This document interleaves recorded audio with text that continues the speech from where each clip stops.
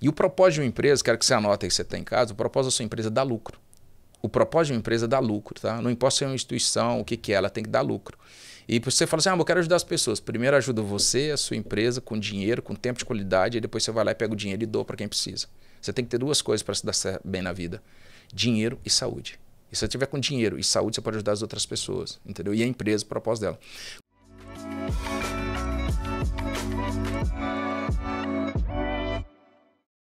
Isso a gente comenta muito para os alunos, né? Eu falei assim, a importância de você chegar antes, de você testar, de você participar ativamente.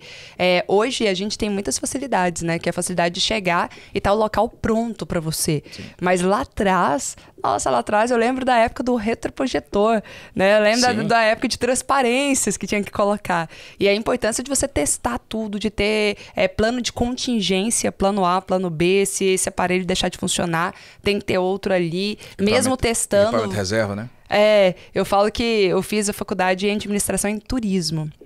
E aí a minha professora da área de eventos falou o seguinte, que evento é igual lei de Murphy o que puder dar errado geralmente dá.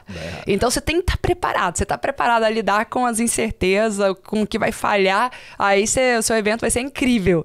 E palestrante é, é um evento. Cada palestra, cada, cada curso é um evento. E é muito lindo ver assim você, porque eu não tinha esse pauzinho e esse cordão, não. Então já dá para ver o quão detalhista você é, é né? cuidadoso ali no distanciamento de cada cadeira. Eu ia meio que no rumo, assim, no olhinho mesmo. Mas muito muito bacana. Né? A gente fez escolinha porque é o seguinte: é, existe um processo que fala conte com o inevitável e depois coopere com o inevitável. Sim. Quando você faz um mapeamento do que pode dar errado no evento, você que está pensando em se tornar treino, palestrante, você tem que mapear também as coisas que podem dar errado. Então, Sim. conte com o inevitável, depois coopere. Como que eu coopero? Tendo a solução para tudo que ele pode dar errado. Um uhum. projetor como reserva, um microfone como reserva, um carregador de bateria. E assim vai e todo o processo. Uma maçã constantemente para estar tá lubrificando ali a garganta do, do, do, palestrante, que ela lubrifica, ela melhora a garganta. Uma água na temperatura certa, um suporte. Então, durante o nosso bate-papo aqui, eu acho que a gente vai poder contribuir para mostrar que não foi fácil estar tá aqui hoje, nem eu nem você, porque realmente eu, eu acho que eu, sim, principalmente, né, eu sou old school, sou da escola antiga de toda essa jornada. Vou responder no H2H, ele significa rima te rima, né, de humano para humano. É, no momento como eu percebi que eu queria, tinha que ter uma metodologia e eu tinha que fazer parte do mercado de diferenciação para preparar minha escalabilidade e recorrência depois no futuro, eu falei, eu vou me posicionar no mercado que ninguém fala, porque todo mundo fala muito de venda, de prospecção, não sei o que que tem. Eu falei, eu vou me posicionar no mercado de atendimento e vendas humanizadas H2H, rima te rima de humano para humano. Porque a minha metodologia é o seguinte: eu não vendo, eu ajudo o cliente a comprar. Então a maior técnica de venda que eu fui desenvolver na minha venda não é vender. É ajudar o cliente a comprar. Quando veio o H2H, principalmente quando a pandemia, eu sabia que era a terceira guerra mundial sem pólvora.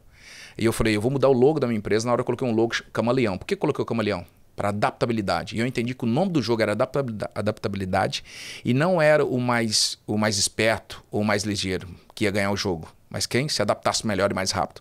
E eu entendi isso mudei o logo.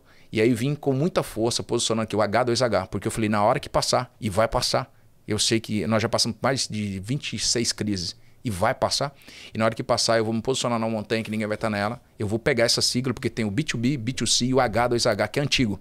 Eu falei, eu vou me empoderar com essa sigla existente e vou me posicionar como maior especialista de atendimento e vendas humanizadas H2H de humano para humano, que é a minha metodologia, porque eu não vendo. A maior técnica de venda é ajudar o cliente a comprar. Quanto mais eu ajudo ele a comprar, mais eu vendo. E existe outra possibilidade nisso. É o seguinte: primeiro, eu me interesso verdadeiramente em você. O ser humano ele veio no mundo para contribuir. Então, a minha técnica de venda, que é totalmente humanizada, primeiro eu me interesso verdadeiramente em você. E a partir do momento que eu me interesso por você, eu faço uma entrevista, uma anamnese, um diagnóstico, e quando eu percebo que o meu produto ou o meu serviço resolve o seu problema, na hora que eu vou te apresentar, eu me torno o que para você? Interessante. Então, para deixar dois recados para a galera: H2H significa de humano para humano. Após uma grande guerra, que foi a terceira a guerra mundial sem pólvora, que foi o Covid, as pessoas estão mais carentes de tudo e elas vão querer o quê? Mais estar em contato com o ser humano. Eu falei, ok, eu vou pegar tudo isso, eu vou estar mais em contato e eu vou implantar minha metodologia mais ainda, porque na época eu já queria, antes da pandemia, eu já queria isso. Eu falei, agora eu vou pegar a pandemia e vou trazer isso. E quando passar, eu vou me posicionar no mercado e nenhum outro trainer vai conseguir vir nessa montanha e posicionar. Porque o método é meu, Eu certifiquei, eu tenho 19 recordes de empresa na pandemia, tenho 97 empresas que eu atendo tracionando, entendeu? Então foi assim que surgiu o H2H, fazendo do problema uma oportunidade. Uau. Conta mais desses recordes. Como que foi? Em que áreas? Como que você mensurou o recorde? Como... Primeira coisa, eu atendo um grupo chamado Grupo Tonielo, na região de Ribeirão Preto, que ele tem 30 concessionárias e 13 marcas de veículos. Eu atendo eles há quatro anos. Então a gente começou a fazer campanhas de venda. E todo mundo criava campanhas com pregão de venda. Então quando você faz um pregão de venda para vender um carro, você tem que vender com desconto. E o propósito de uma empresa, quero que você anote aí que você tem em casa, o propósito da sua empresa é dar lucro. O propósito de uma empresa é dar lucro, tá? Não importa se é uma instituição, o que, que é, ela tem que dar lucro. E você fala assim, ah, eu quero ajudar as pessoas. Primeiro ajuda você, a sua empresa, com dinheiro, com tempo de qualidade, e depois você vai lá e pega o dinheiro e doa para quem precisa. Você tem que ter duas coisas para se dar bem na vida: dinheiro e saúde. E se você tiver com dinheiro e saúde, você pode ajudar as outras pessoas, entendeu? E a empresa, o propósito dela. Quando eu comecei a ver que muitas pessoas faziam pregão de venda no Brasil, eles vendiam muito carro, mas fazia o empresário a perder o lucro.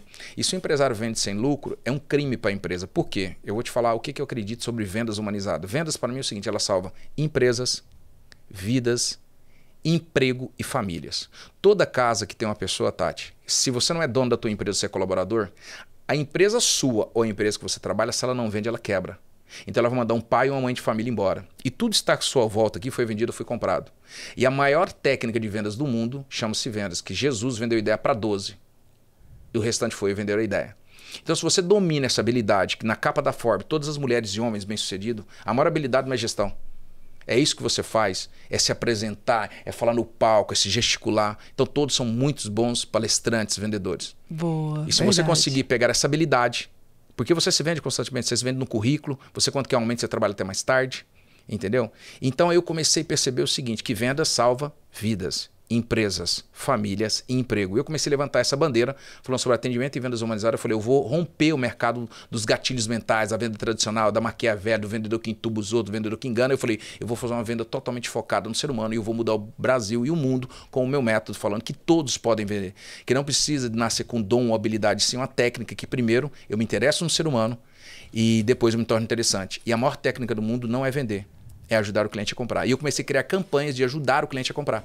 E como eu entendo um pouco do mundo online e do mundo offline, que eu, eu vendi ambiente virtual de aprendizagem muitos anos atrás, o Moodle, né, que era o AVA, né? Uhum. Eu comecei a entender isso, eu vou fazer campanhas que eu vou ajudar a empresa a vender para o público certo. Então a gente começou a criar campanhas de prospecção para prospectar o certo, o público certo, usar os colaboradores da empresa, que é a maior sacada de venda, daqui a pouco se você quiser eu falo sobre isso. Então eu uso o, o colaborador da empresa, eu uso o network de todo mundo, ele sei usar muito bem os canais online para tracionar esse cliente. E qual é o legal dessas campanhas? Que todas as campanhas que eu faço, eu trago lucro para a empresa, eu não faço uma venda só por vender. Porque eu não convido alguma pessoa para ir para a concessionária é, buscando preço ou desconto. Eu convido ela para um evento. E aí eu faço o que a galera hoje digital fala de copyright, mas eu faço um texto persuasivo com uma carta de venda mostrando que eu tenho um evento exclusivo, restrito somente para convidados. E se você deseja conhecer a tecnologia e a inovação desse veículo, você é nosso convidado VIP. E eu gostaria de saber se você tem interesse de participar juntamente com a sua família. E aí, para isso, existem várias coisas que depois eu envolvo um buffet, eu preparo todo um cenário, eu preparo toda a concessionária envolvida com um som, um ambiente, o carro posicionado, é, que carro que tá, toda a parte de bônus, o que ele pode ter um insufio ou não, e eu crio a campanha. Não só para carro, é, envolve vários segmentos que eu atendo, mais de 19 de confecção no Brasil. Sim. Então a gente cria campanhas baseadas, igual a VEC.negócio é um software que tem para salões de beleza no, no, Brasil. Lá também a metodologia com um ex-head meu. Ele tem 154 pessoas que transforma leads em vendas todos os dias com essa metodologia minha que é em cinco passos, que é abordagem, extração da necessidade, apresentação da solução, negociação e fechamento com indicação. Por que fechamento com indicação? Porque o CAC está muito caro. Então, quando eu consigo colocar alguém numa jornada de, de compra por indicação, eu dobro minha venda, mas não é indicação. O brasileiro fala muito indicação. Indicação fala que é pobre city. Uhum. Eu gosto de recomendação que é rico a vírus. Então nós temos uma metodologia que toda vez quando eu vendo alguma coisa, eu vou e pergunto: quem você gostaria de ajudar? que precisa ou com quem você gostaria de compartilhar esta mesma oportunidade que você está tendo, que tem esse mesmo perfil, desde que seja um amigo ou um parente muito próximo e querido. Nessa hora eu faço ele lembrar de um amigo ou de um parente muito próximo e querido e que ele gostaria de ajudar. E aí não é indicação. Quando eu falo indicação, eu quero só me beneficiar. Mas quando eu falo quem você gostaria de ajudar, quem você conhece que precisa, com quem você gostaria de compartilhar esta mesma oportunidade que você está tendo, desde que seja amigo ou parente muito próximo, querido, que tem o quê? O mesmo perfil que eu sei, que é empreendedora, visionária, quer ter uma vida memorável. E aí, assim, naturalmente, ela, eu sempre falo, mas eu só posso falar com duas pessoas. E aí, essa pessoa sempre me traz o quê? Duas pessoas que parecem com quem? com ela. E naturalmente ela tem o mesmo Se perfil. ela comprou, a ele outra tem compra. grande chance de comprar. Por quê? Fantástico. É, nós temos alguns grupos de pessoas que te influenciam a comprar as coisas. Tem cinco Sim. grupos de pessoas. A primeira pessoa que te influencia a comprar alguma coisa chama seus pais. Quando você era criança, alguma coisa, você falava, pode comprar que a pessoa é honesta, pode fazer isso, certo? Então, esse primeiro grupo, vamos mapear aí em casa, galera. Tem cinco pessoas que, que influenciam você a comprar alguma coisa. Primeiro são seus pais. Segundo grupo de pessoas que influenciam você a comprar alguma coisa, os seus amigos. Terceiro grupo, professores, aquela pessoa que você admira, um pastor, um religioso, ou um advogado, um aquela pessoa que você admira que gera educação. Quarto, os influenciadores digitais hoje. E o quinto, celebridades. Quando você consegue entender numa jornada de venda, de prospecção, que você consegue usar o segundo, que é o quê? Primeiro os familiares, o segundo são os seus amigos. Então, quando eu consigo levar para um evento ou para uma jornada e peço para ele convidar os seus dois melhores amigos, mas não é indicar, é quem ele gostaria de ajudar, ele me traz duas pessoas que têm o mesmo perfil. Quando eu falo dois, é restrito. É exclusivo, dois é pouco. Eu não preciso falar que é pouco, aquela velha técnica de venda. Tá acabando, não sei o que tem. Não, eu falo, eu só posso falar com duas essa semana. Desde que seja o mesmo perfil que você, que é empreendedor, visionário, inteligente, que tenha condições financeiras de comprar esse produto. Ela me traz duas pessoas. Então, de uma venda eu virei o quê? Três. CAC, zero. Só que ela não indicou, ela ajudou quem precisa. Então ela se, trans- ela se transforma num órgão transformador na vida de outra pessoa. Ela não só me beneficia, mas ela busca no network dela realmente quem precisa. E aí sim ela compartilha a oportunidade, transformando a vida daquela família. E aí eu, eu simplesmente triplico a minha venda com uma dessas técnicas. Existem mais de 14 técnicas no mundo offline, no PAP, sem ser usar o digital, somente E olha que legal, gente.